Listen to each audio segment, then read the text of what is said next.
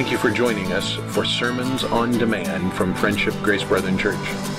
We provide these videos as a way to share the pulpit messages and teachings offered at Friendship Grace Brethren Church. If you find these videos a helpful resource, please drop us a note at info at friendshipgracebrethren.com. Now open your Bibles and get ready to dig into the Word of God. Okay, uh, Revelation chapter 22. We'll, we're getting toward the end of the book, and and uh, I anticipate we'll be done tonight.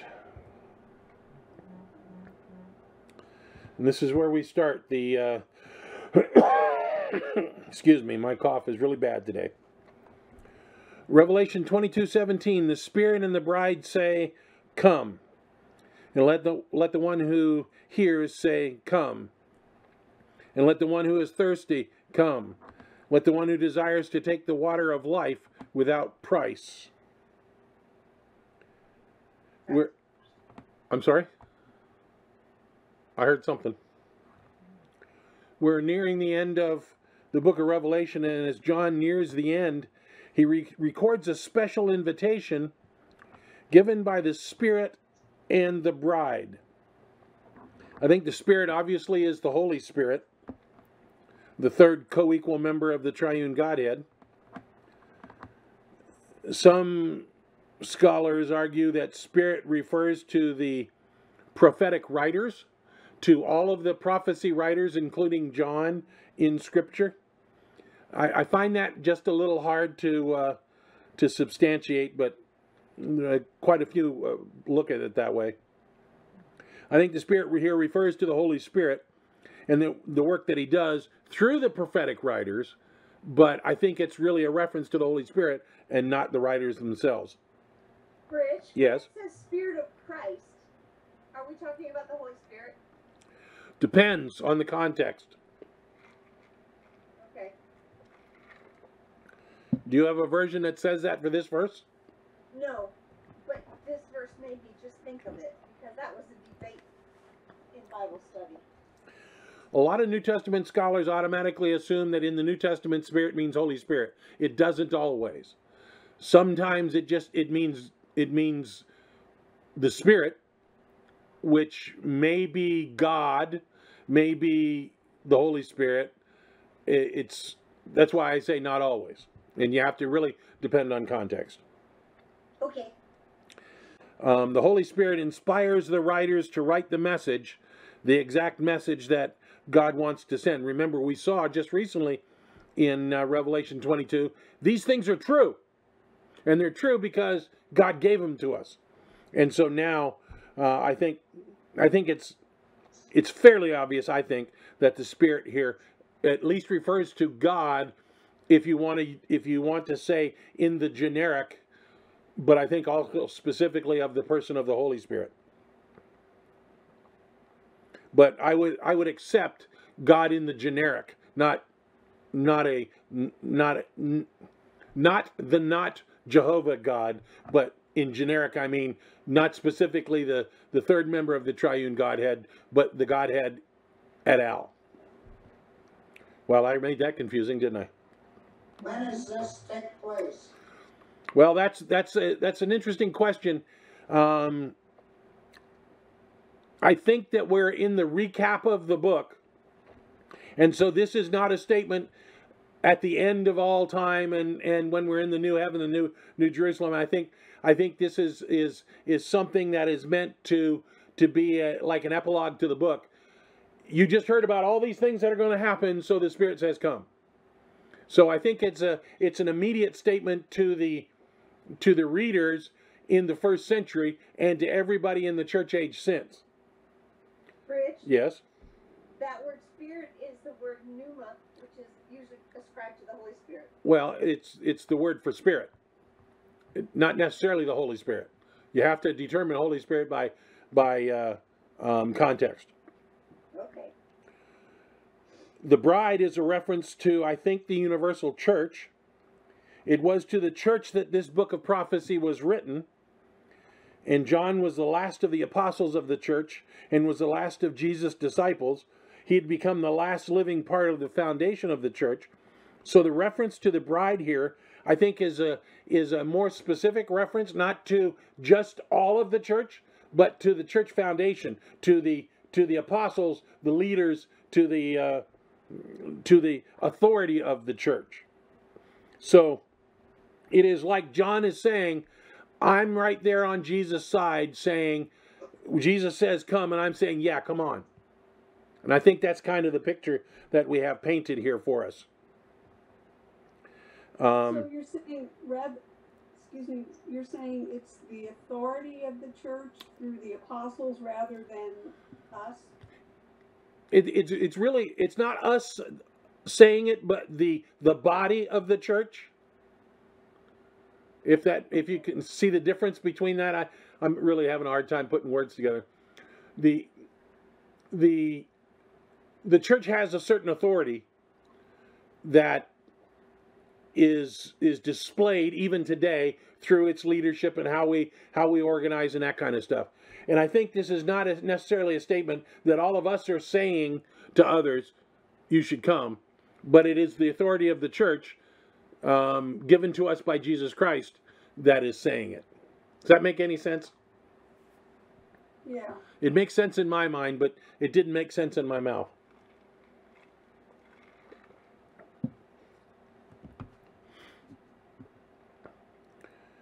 So the reference to the bride here is a reference to the church's work in re- uh, is also a reference to the church's work in reaching out to people, the authority and the work of the church to uh, to enable people to see the truth of Scripture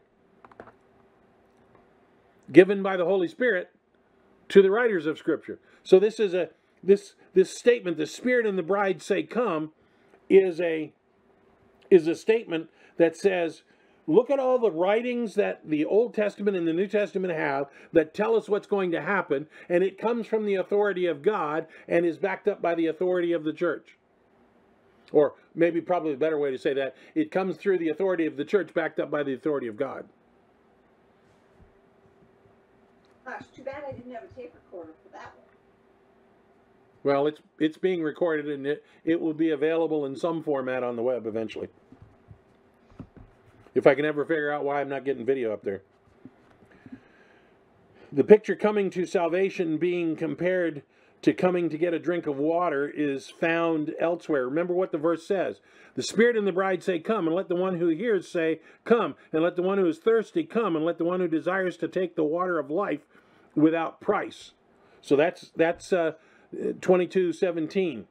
Isaiah 55 1 says, Come, everyone who thirsts, come to the waters, and he who has no money, come, buy and eat.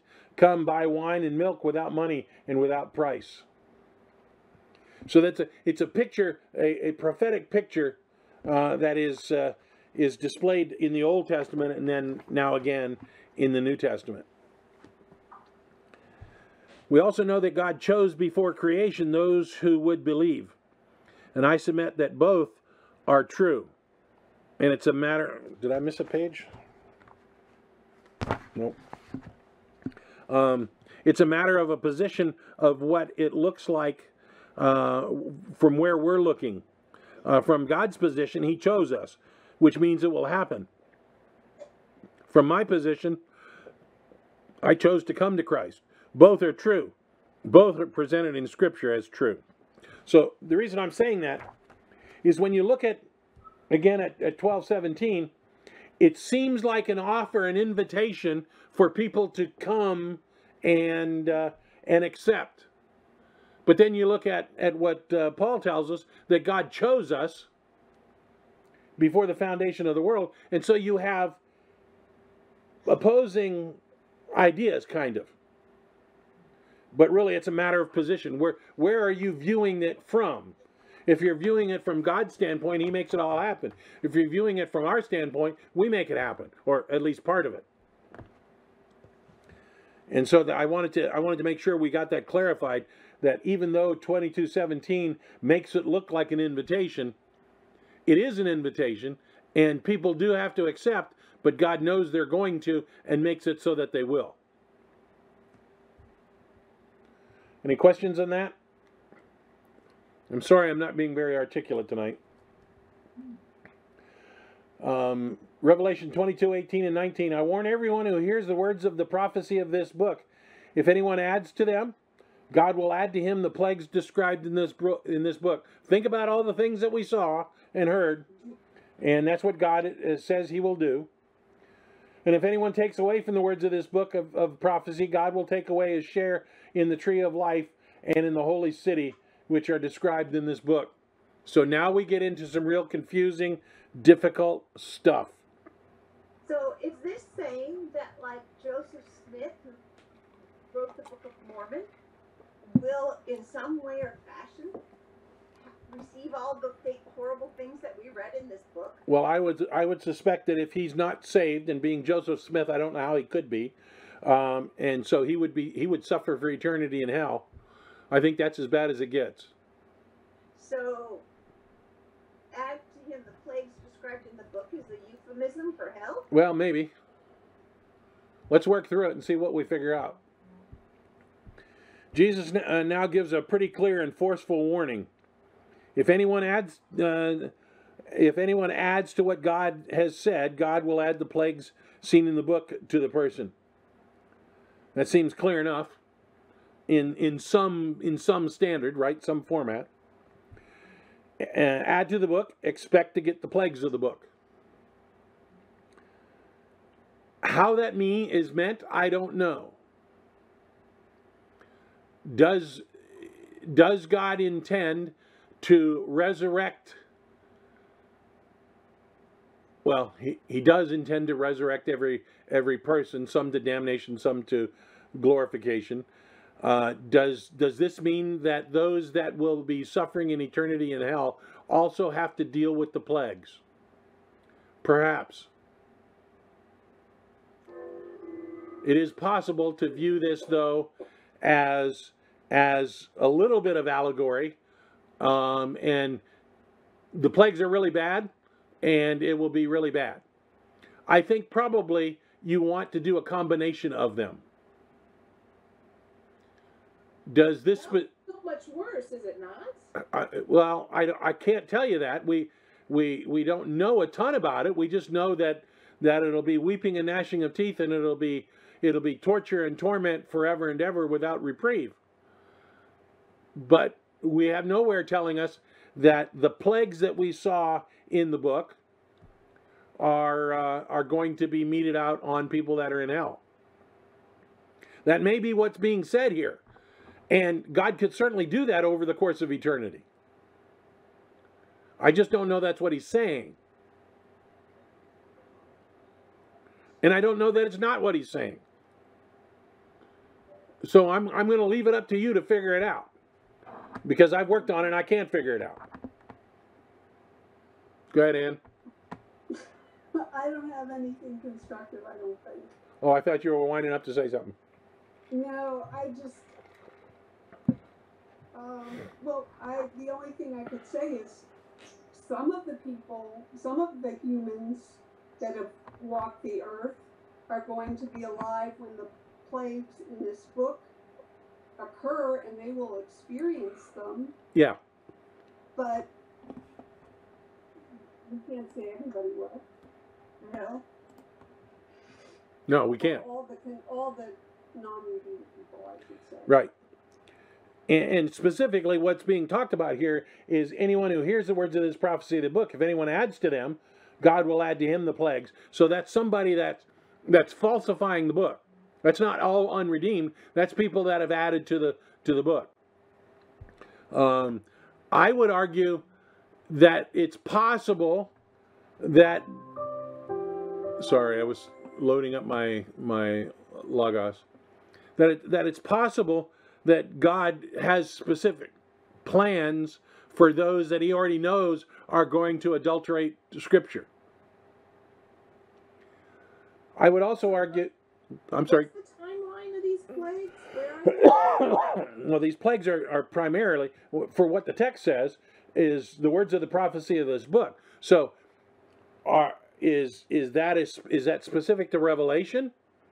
Which would mean that the plagues then are in the tribulation, or is it a broader statement for the plagues of this book, which are are all of which is all of the Bible, in which case, you know, the, the plagues of Egypt and, and so forth. Okay. And I don't know that we can adequately answer that because the immediate context, you know, you go back to verse 17, the Spirit and the bride say, Come and let anyone who hears come and let anyone who desires. Uh, that's not the right one. Um, where did I go? Where uh, it talks about the, the prophets.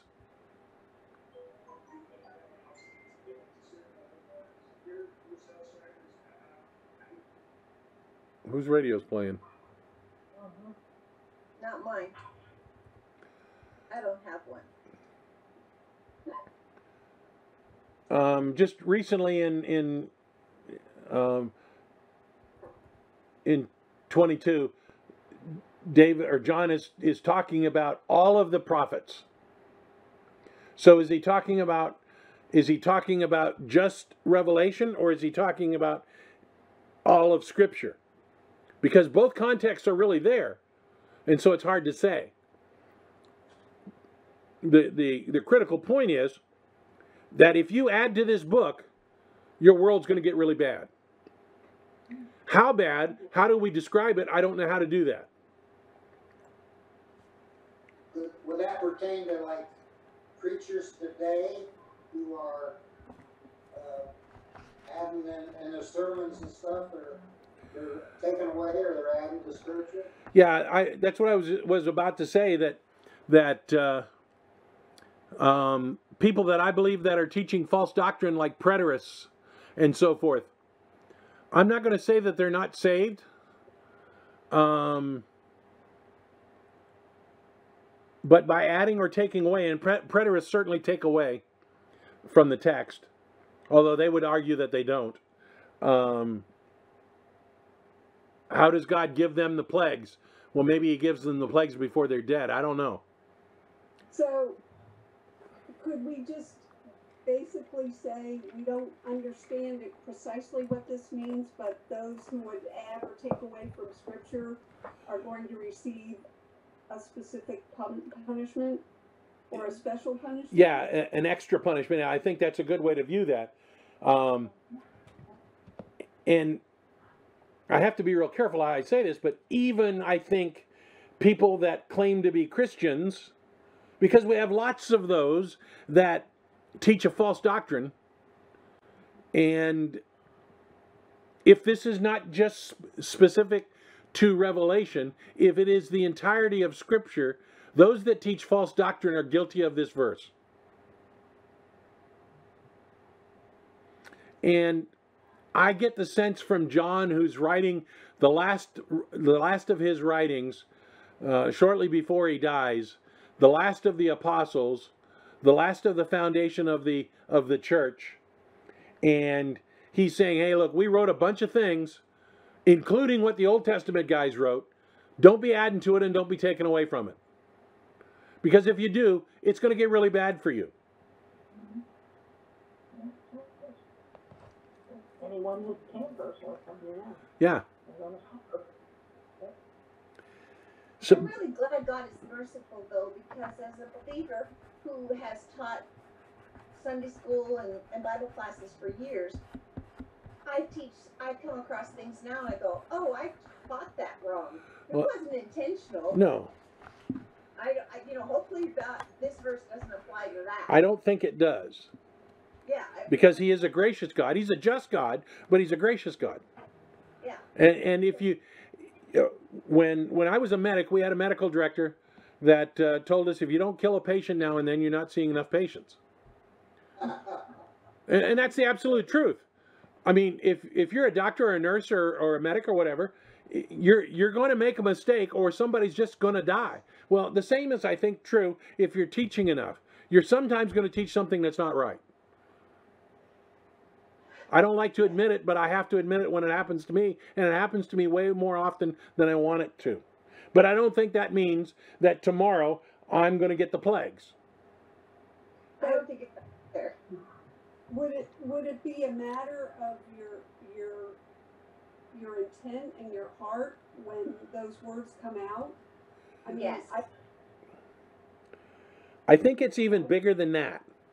you know, I, I think those that that want to m- remove the authority of the Word of God, I will believe anything in Scripture, even if I don't like it. But there are some that won't, right, and I think that's more in line what we're, what we're talking about. right.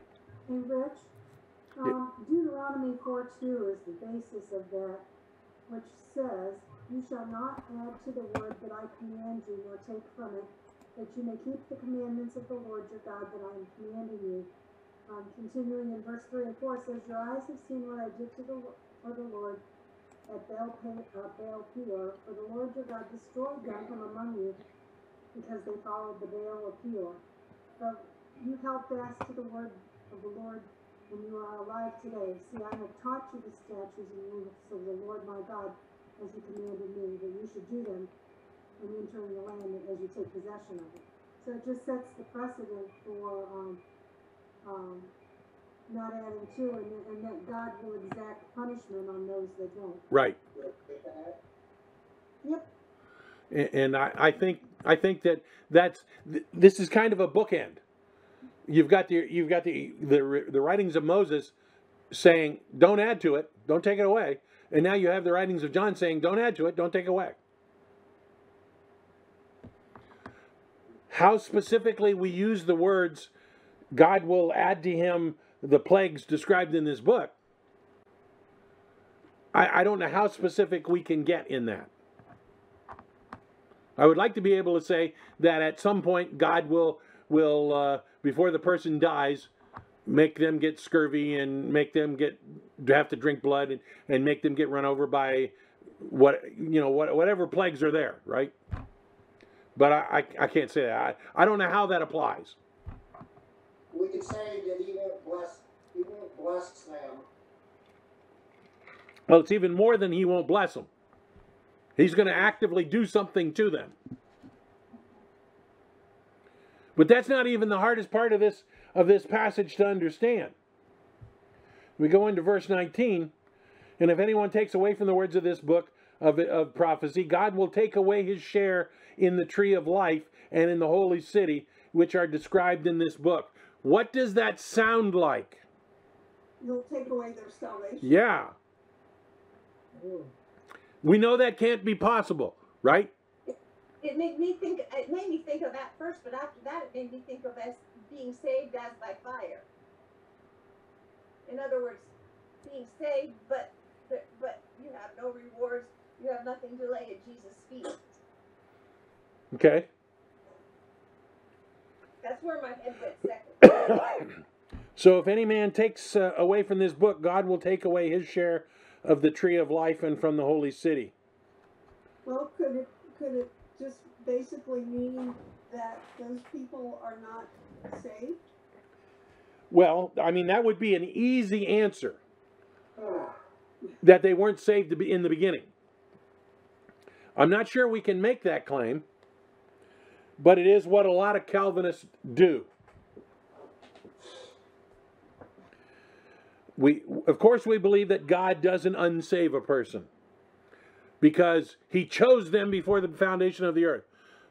And and when you look at 828, although I started to read an article today from the uh, Free Grace Society that argues we need to take back, uh, we being the Free Grace people, need to take back Romans 8, 28, 29 from the Calvinists. So I, I, my, I didn't have the mental capacity to read it today, but I will. Um, we believe that God's not going to unsave us. So we know from the rest of the uh, rest of Scripture that we can't be plucked out of God out of Jesus' hand. We know that we can't jump out. We know that we can't be unsaved. So how do we interpret that statement from John that's in keeping with the other warnings given in Scripture, and how are we to treat this Scripture? Some scholars argue that only an unbeliever would take away from the text. I don't know that we can say that. I, I just I, I I have heard too many guys that sound saved that don't use all of the text and don't believe all of the text. So I, I don't know that we can say that. I believe there are many preterists that are probably true believers, but they dismiss dismiss much of the book of Revelation as not being prophetic. Is that removing from preterist? Uh, preterism is a is a eschatological system that basically says there's no millennium, all the events of Revelation already happened, and uh, we're in. I shouldn't say there's no millennium. We're in the millennium. Oh, by the way, the millennium doesn't mean a thousand years. Oh, by the way, I don't want this to be the millennium because it stinks. Yeah. Yeah.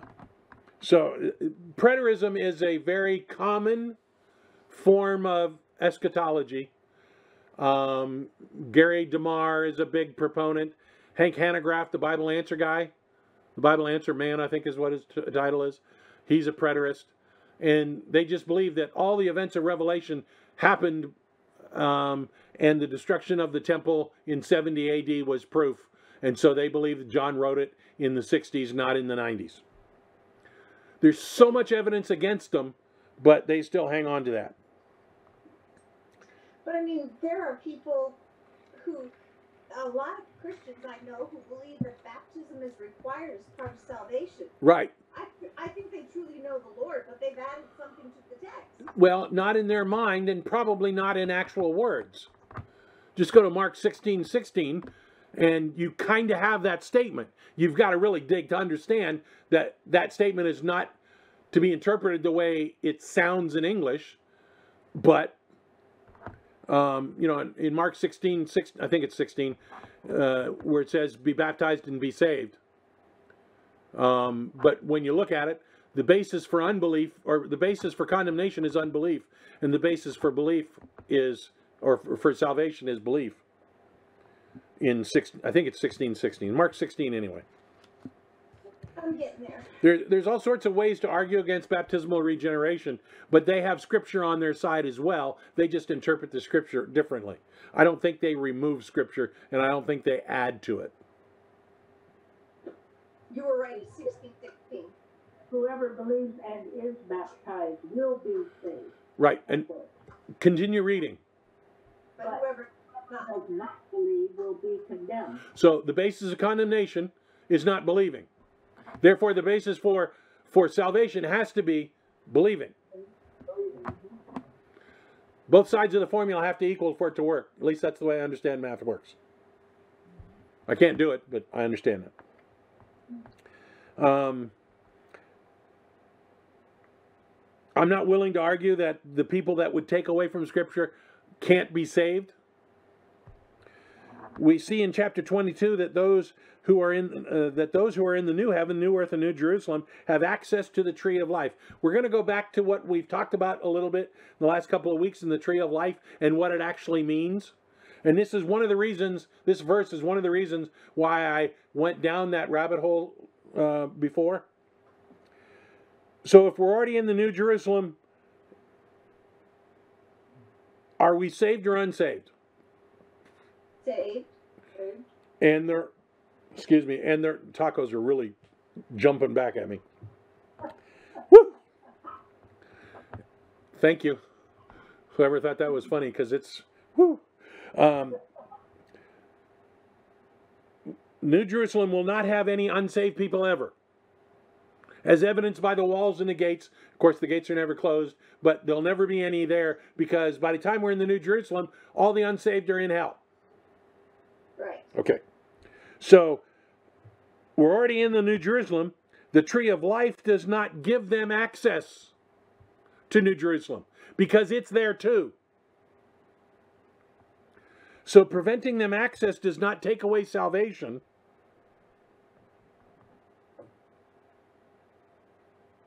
Does it maybe take away a blessing because um, that's supposed to be part of the blessing of being um, in the New Jerusalem and the millennial kingdom is the tree of life. Yeah, I'm kind of at a loss to determine what the tree of life does for a glorified redeemed person. We looked at it last week where the tree of life grants life. Well, it can't grant life to a glorified person. And so, because they're already alive, they're already immortal. So, I'm not sure.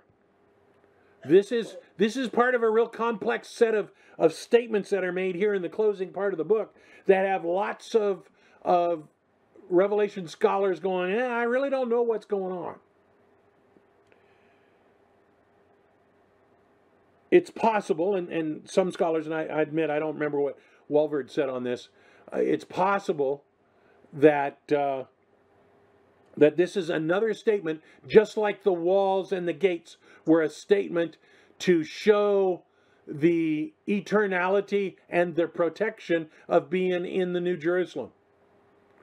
We don't need a wall around Jerusalem because nobody can get in that isn't saved, isn't glorified. So we don't really need the tree because we're already we're already redeemed, we're already glorified, and so it's all just euphemistic statements about the blessings of God. I don't know that Backing up- to verse fourteen, it says, blessed are those who wash their robes so that they may have the right to the tree of life, and that they may enter the city by the gates. So they won't have the right to the tree of the light or the city, so were they redeemed? Yes, because John said, Blessed are those that wash their robes, or probably more precisely, have their robes washed.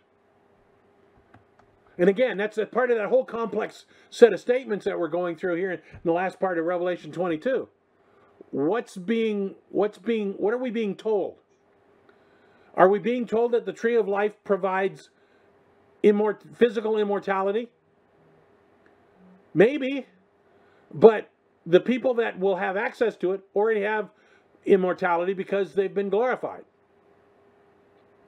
So is the tree of life in reality a euphemism for for eternity in a glorified state? I don't know. I don't think so. Because then why did God put a guard on it in the Garden of Eden? Is, could it be some kind of a particular blessing? Because we're going to be rewarded according to our, to what we do for the Lord, so could it be a type of blessing? That's what I was just looking up in First Corinthians three fifteen. It says that um, if his church be burned up, he will be saved yet as by fire. Right. And that somewhere in Galatians, but I didn't get a chance to find it. It says that we that we will cast our crowns or our our, our rewards at his feet. Yeah. So More precisely, what that passage talks about is that the 24 elders will cast their, their crowns and jewels, and we believe by extension, so will we. It's not doesn't specifically say that we do. However, we teach that we do by an extension of that verse. Just want to make sure that we don't make the verse say more than it does. Thank you. But I'm wondering if I know this sounds really ridiculous, but in in Psalm someplace it says he'd rather be a doorkeeper in the house of God than something else. So I'm wondering if this, doesn't mean that we won't have the best room in heaven, type of thing. Yeah, I, I think I think in Matthew we read that that uh, there'll be some that that are way far away and others that are closer up. Yeah, I, I think that's true. I I think that that our rewards will determine our our placing in heaven. We'll all be in heaven, but I don't think that's what this is talking about, though. I I I, can't get past the fact that God put a guard on the tree of life in the Garden of Eden. And at bookends to the Bible, we read about the garden, we read about the tree of life. And so I don't know yet, and this is this is my new favorite project. I don't know yet what the tree of life means. My working theory right now is that the tree of life provides physical immortality without spiritual redemption. Understand what that means? If Adam had snuck back into the garden when the uh, angel was sleeping, yeah, I know, I know, and and was able to eat from the tree of life, I believe he would have received immortality. He would have not received salvation. He understood immortality because he was immortal before he sinned. And when he sinned, his body was then made mortal. And I believe the tree of life reverses that. At least that's my working theory right now. So, how does that fit into into Revelation 22? Perhaps now just just go with me and understand I haven't worked all this out. This is part of my waking up in the middle of the night thinking about it kind of deal. Pondering stuff. Perhaps in Revelation, the tree of life is for those that live through the tribulation, through the millennium, not through the end of the millennium, and through whatever the season is, without dying and being glorified. At some point, God will either have to translate them, like He does us at the rapture, He'll have to poof them at some point, or let them eat from the tree of life and have physical immortality to go with their spiritual immortality or their spiritual eternity. That's just a working theory now. I can't prove any of that, but there's a reason that it's at both ends of the Bible. The tree of life showing up in in uh, in uh, Genesis uh, early chapters and now here in Revelation late chapters. There's a reason for that. I just don't know what it is yet. And very few guys talk about it. They just they just pass off the tree of life as a euphemism for salvation. If that's true, then Adam couldn't be saved because God prevented him from getting to the tree of life. And I'm not willing to say that. And then, but, and if that's true, then why do, why do the people in heaven with their glorified bodies have to eat it, eat it? Right. If the tree of life was not factoring so heavily into the middle of the New Jerusalem, I'd be all set saying, yeah, it's a euphemism for salvation. But the people that will have access to it are already saved. So why in, in verse 14, like Linda pointed out, does it say that they'll get access to it? I know I have not answered any questions on this. Mm-hmm. I've created more questions. I'm sorry. Welcome to my world. Mel- welcome to the pain that I feel when I go through this. I don't have an answer. I have more questions. Every time I study it, I come away with more questions. So you know what my working theory is. I don't know how to answer that. I don't know if that's right or not. I just know there's a reason God put it at the beginning and He put it at the end.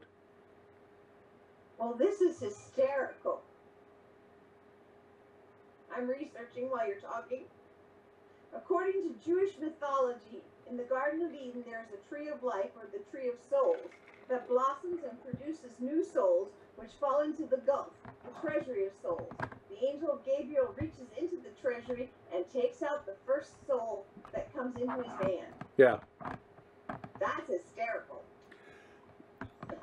We we we don't know a ton about about Jewish we being the church doesn't know a ton about Jewish teaching but the more you read it in the Mishnah and the more you read about the rabbi's interpretation of the interpretation and the more you read about non-standard Jewish practice practice like Kabbalah and stuff there is all sorts of mysticism out there I mean This is really weird. the a, a significant number of the Jewish groups that are in, in, in the world today, even in America, believe that Adam's first wife's name was Kate Lilith. Lilith. I, was- I was hoping you'd help me out there, Kate. Was Lilith? I was muted. Oh, sorry. And uh, that Eve was actually a second chance for Adam. That's Jewish teaching in a lot of places. But here, I thought that the Jews might have a better handle on it because the tree of life started first. No, they they have no they do not have a better handle on anything. They didn't have a good handle on it when Moses was teaching them. It got worse. By the time they were destroyed in 70, it was it didn't resemble anything like like uh, Moses had taught. And the Jewish traditions that are alive today are mostly European and have very little basis in in biblical practice. That is sad. You have to actually go to the Samaritans that are still in place in in the, the nation of Israel today and their practice. They're, th- them and the Jews in Yemen are the closest to good theological Jews. And they're still they're still not good. What's that? It is bizarre. So, Tree of Life, spend some time studying it. I don't know what it means. You're not going to find a lot of people writing on it. I hope to someday have this put together enough that I can write on it and people can laugh at me because that's kind of fun. So, let's move on. He who testifies to these things says, Surely I'm coming soon. Amen. Come, Lord Jesus. Jesus says he's coming soon. Now, remember, Jesus tells John this, or the angel tells John this 1900 years ago. So soon has a rather broad definition. Anybody know what the the church has has anticipated the coming of Jesus at any moment. You know what that doctrine's called? Uh, imminent return? Yeah. Imminent Yeah. The imminent return of, of Jesus has been a foundational doc, well, uh, has been a significant doctrine in the church since the time of the apostles, since before the apostles were dead. The apostles thought Jesus was coming back in days. And those days turned to weeks, that turned to months, that turned to year, and now we're in two millennia since. So the definition of soon is kind of fluid. When you look at, um, Moses' description in Psalm ninety verse four, it says a thousand years in your sight is but as yesterday when it's past, or as a watch in the night, so it's, you know, Yeah, but the other side of the equation is that a thousand years is as a day. right, A day is, a, is as, as a thousand years, and a thousand years is as a day. right. Which means our timing and his timing are not even close to being the same. Right. But that that word in Greek or whatever language it was when it was written here, Which one? um, Soon? the word soon. Okay. Does it actually mean soon? Well, it all. Let me let me get you the word. Um. But I'm on my tablet. When I'm on Zoom, I have a hard time finding those things because it's on my iPad and I'm using it. It is the word Texas, from which we get tacky, like tachometer, tachometer, tacho, tachono. Holy cow! Thank you. I was putting an extra syllable in there and it was messing me up. It means quick, swift, speedy, in short time, quickly, hurriedly, sweetly, sweetly, swiftly, speedily. This is painful. I want you to know. Quick, prompt, This side of it, yeah. Quick, quick, prompt, ready, slow. Hear that? Quick, prompt, ready, slow. How does slow get there? Yeah, exactly. Without delay, right away, at once, soon, afterward, more quickly, faster, sooner, quickly, without delay, very quickly, in short time, and quick. How do you like that? Well, it must have been that one lonely slow is the definition. No, no, it, it really isn't. From our point of view, it is. Right, but our point of view is not what's writing here. God's point of view is. Now, I want you to think about this. God exi- exists where? Outside of time and space. Right. So, what does soon mean when you don't have time? Anytime. It- What, No time. yeah, exactly. doesn't mean anything. Right. As the church age gets longer, there's been some teaching that certain events have to happen. Um, I, I remember vividly in the 70s, we were nearing the end of the of the of the generation after Israel became a nation. Israel becomes a nation May 14th, 1948. Now, all the Bible uh, um, prophecy scholars saying Jesus will return in a generation from that. A biblical generation is typically 40 years. So when you get when you get into the 80s, the end of the 80s, Jesus has to return by then. And then we get into the 90s, what happens? He still hasn't come back. Well, maybe generation means 50 years. And then we get into the 2000s. Well, may, may, maybe maybe because we're living longer, generation is longer. These are all legitimate things, or things that legitimate scholars are saying. So, after the fall of Israel in 70 AD, the teaching uh, was that Israel had to be reconstituted. So, May 48, when Israel's reconstituted and actually has a place on the map, everybody thinks, okay, that's it. The reality is, nothing had to happen on the global scale for Jesus to return.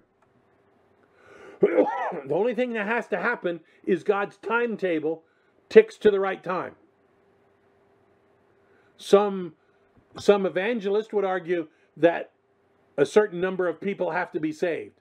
And when that last person is saved, then the, then the the eschatological clock will start ticking again. I disagree with that. The clock has been ticking. The last person will be saved and the and the next event will happen, but the next event isn't triggered by the last person being saved. They will all just happen when they need to happen. All that Jesus is waiting for is for God's time. A time that he It will be gone as long as it was from Adam to the first coming. I wonder if it'll be as long from Jesus to the next. Well, that's an interesting question. In my in my theological framework, that would make make it be that we have another 4000 years to go. I know. Not a problem. We'll be in heaven. For us, it won't be a problem, but for all the people in that 4,000 years, it will be. Maybe, maybe not. During the last 2,000 years, the world has gone up and down. We're not any appreciably worse than we were at the time of Nero.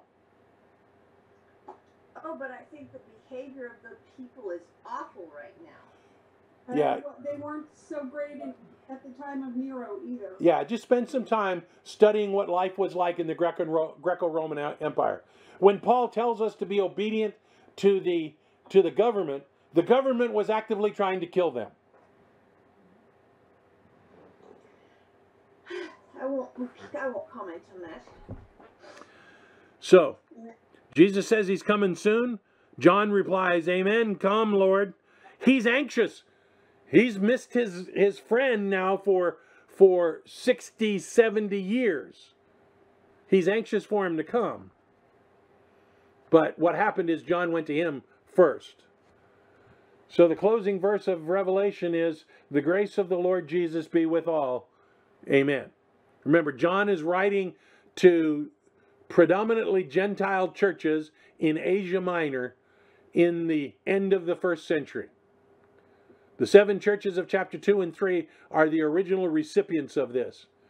Most scholars, most Revelation scholars, believe that John gets off the island of Patmos and he's able to deliver the book, the scroll, to be copied and distributed to the seven churches before he dies. Do you think that the the letters to the seven churches have anything to do with ti his uh, historical time periods of churches? No. I was not here for that part. No, I do not. I, I a, a lot of people do.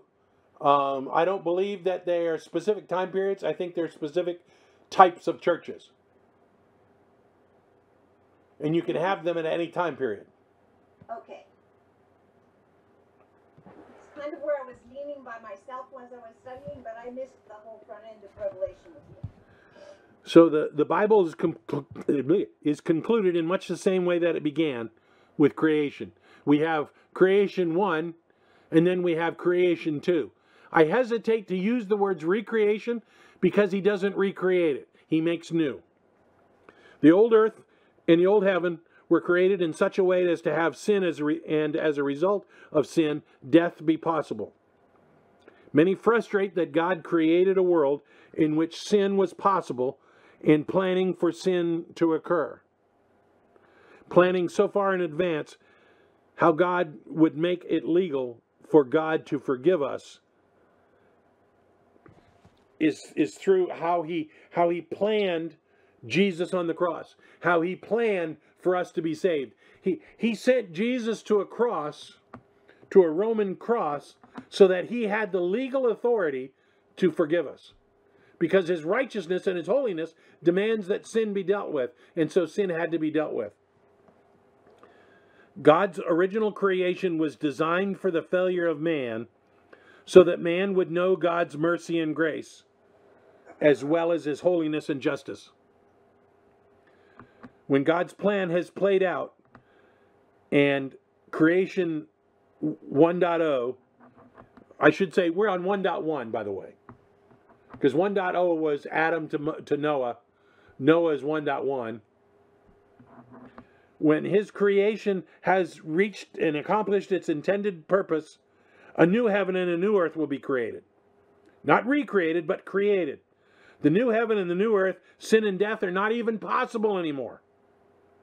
Their purpose has been served, and now eternity no longer needs them. So death, sin, and pain, yay, are sequestered in the eternal lake of fire. The Garden of Eden was a paradise. Our eternal state will be paradise exponentially amplified. We have eternity to fellowship and serve God. Thank you for watching or listening to this teaching on demand from Friendship Grace Brethren Church. Please consider sending us an email at info at friendshipgracebrethren.com to let us know how this teaching may have helped you. Please also consider joining us in person at Friendship Grace Brethren Church, located at 10251 Metro Parkway, Suite 116, Fort Myers, Florida, just south of the intersection of Metro and Colonial Boulevard. Sunday school begins at 9 and worship service at 10 a.m. We look forward to seeing you in person at Friendship Grace Brethren Church.